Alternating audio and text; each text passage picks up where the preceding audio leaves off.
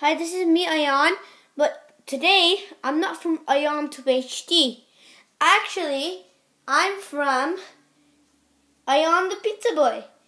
So, I'll tell you the story behind this. I am going to be changing my name to Aayan the Pizza Boy. It sounds like a pretty odd name, but it doesn't sound that odd. So, you, please leave a comment below if you think I should change my no name to Aayan the Pizza Boy. See you guys next time. Bye. This was the time that I'm showing you I'm changing my name from Aayan to HD to Aayan the Pizza Boy.